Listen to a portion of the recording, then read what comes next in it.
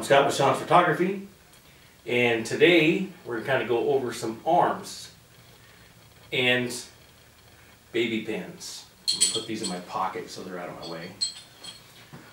Alright, on this one over here, we have a Kupo, our Kupo steel boom arm. Uh, nice advantage about this one is that your counterweight's back here. You use this one to extend out and you have to, you can use less counterweight. If I get it, if I'm pulling the right one there, then uh, I would need on one of these. Of course, you can watch the video. I already did on the Kupo arm. Also, when you get these here, uh, most of the time they are hollow. So they have a little pin that runs through the spigot and holds the spigot on. They're not, I mean, they're solid, they handle a lot, and they'll bend just as easy as a solid rod. So this one here is a solid aluminum rod. It's very light, it's compact, um, or lighter than the steel arm that's hollow. This aluminum one is a lot um, lighter. But again, they do the same um, functionality. They boom out over your subjects. So basically, you get this guy out, it just booms out right over to where you need. So basically it's a grip arm, it's not a boom arm, but a lot of people call them a boom arm, but it's a grip arm. Let's see.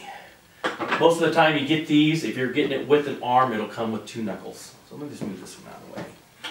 I guess I should tighten it down. That's dangerous. Move him the way. Most of the time when you get these, you will have you'll get two knuckles. So one will be for mounting the arm, and the other one is for being at the end. So let me loosen this one up. And I'm probably rotating the wrong way, but this is just for demonstration purposes anyway. And of course this one, no it doesn't have very. What they don't offer with these stands are junior pins. So as you can see on this one here, I got a Matthews knuckle. This is my drop down pin. But for only $10, when you buy your stand, buy a pin. There are two different kinds of pins. There's like this one here, and there's this one here. This one here has the junior pin at the end. So when you put your stand or put your light strobe onto the end of this, it's going to wobble if you are using an Elinchrom, Godox, Jinbei any kind of off-brand, and because of the uh, uh, distance between the span in between here and here is wider than this one here and here. So uh, you can DIY that. I think I explained that an, in another video explaining that. So, but this one here I like the best because it actually has a mushroomed in on the end that makes it a stopper. So it can't slide back out. So if we open this one up, slide this pin in, we rotate this down like this, and we're down here on the end like we're supposed to be.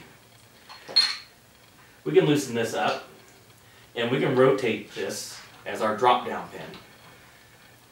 So we move it around, we can kind of give it whichever way we want.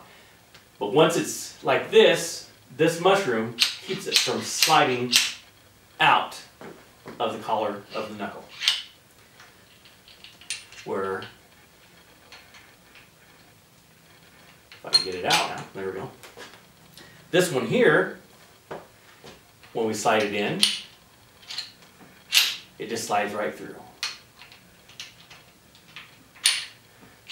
And that's kind of unsafe. So, because when you loosen it up and you're going to spin it, again, you can put this on this side and use this one on this side or opposite side. But normally, I always put mine uh, pieces odd compared to a lot of other people. Um, This one here, actually, if you know you're not gonna be moving it too much, you can slide it through your hole there.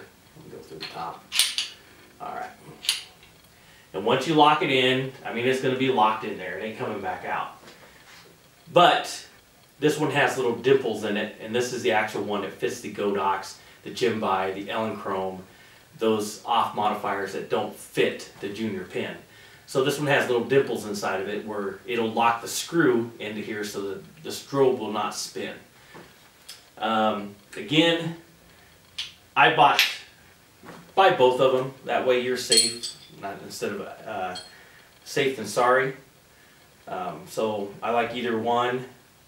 Again, if you're using Godox or any of those other ones, the uh, spigot hole inside the, the strobe is too short to fit over this junior pin.